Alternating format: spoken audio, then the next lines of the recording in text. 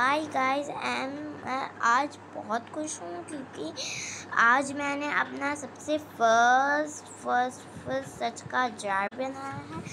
और अपनी फ़र्स्ट सी, और अपनी फ़र्स्ट सी दुआ बुक बनाई है। और कुछ नहीं बनाया। अच्छा तो मैं आज आपको ये भी बता सकती हूँ कि कि सदका जार कैसे बनाते हैं।